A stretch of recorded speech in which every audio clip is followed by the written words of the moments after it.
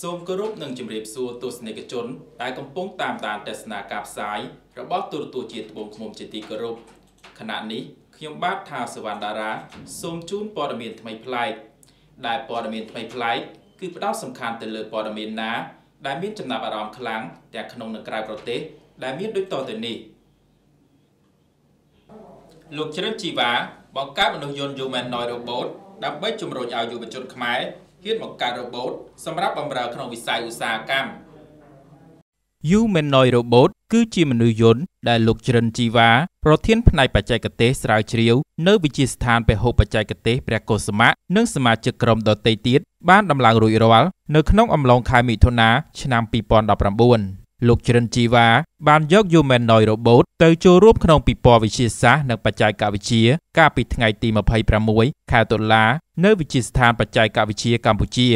បើតាមប្រធានផ្នែកបច្ចេកទេសស្រាវជ្រាវនៅវិទ្យាស្ថានពហុបច្ចេកទេសព្រះកុសុមៈមនុស្សយន្ត Humanoid Robot មានសមត្ថភាពឆ្លើយឆ្លងជាមួយមនុស្សបាន អាចលើកដៃសំពះចាប់ដៃនិយាយបានពីរភាសាដើរនិងចងចាំមុខមនុស្សជាដើម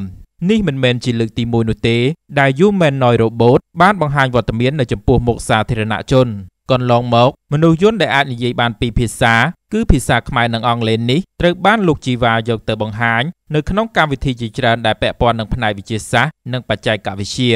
ហើយរាល់ការបង្ហាញវត្តមានម្ដងម្ដងគឺតែទទួលបានការកោតសរសើរពីសាធារណជន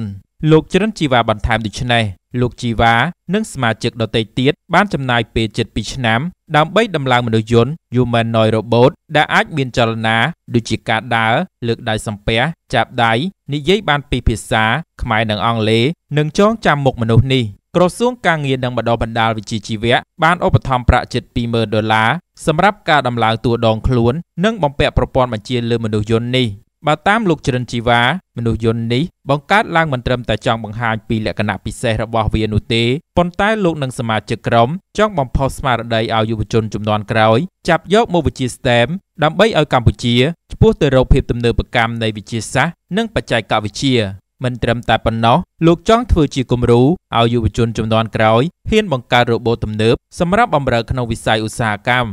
លោកជ្រិនជីវ៉ារៀបរាប់ថា បច្ចេកវិទ្យាជំរុញឲ្យយើងប្រឹងតាមគេប្រសិនជាយើងមិនចាប់ផ្ដើមធ្វើទេគឺអត់មានអ្នកណាគេហ៊ានធ្វើទេ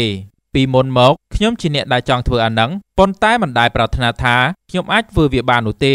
តែតើតែខ្ញុំបានរៀនផ្នែកវិទ្យាសាស្ត្រនិងបច្ចេកវិទ្យាបានមានសមត្ថភាពធ្វើបានខ្ញុំគិតទៀតថាបើខ្ញុំធ្វើអានឹងបានមួយសម្រាប់បង្ហាញនៅសាធារណៈអ្នកណាក៏មានទំនុកចិត្ត ហើយមានក្តីសង្ឃឹមថាអាចធ្វើបាននេះខ្ញុំក៏ចង់ឲ្យពួកគាត់គិតអញ្ចឹងបង្កើតរ៉ូបូតនេះឡើងមិនមែនតែបង្ហាញឲ្យល្អមើលទេគឺឲ្យសិស្សនិស្សិតគាត់ចាប់យកជំនាញបច្ចេកទេសក្រៅពីជំរុញឲ្យសិស្សនិស្សិតចាប់យកជំនាញវិទ្យាសាស្ត្របច្ចេកវិទ្យាវិស្វកម្ម Engineering និងគណិតវិទ្យា STEM ដែលសម្បូរទីផ្សារនៅអនាគតហើយលោកជីវ៉ាក៏គ្រោងដំឡើងមនុស្សយន្តនេះឲ្យអាចនិយាយភាសាចិនបន្ថែមទៀតនិងមានលទ្ធភាពជំនួសការងាររបស់មនុស្សនៅថ្ងៃអនាគត។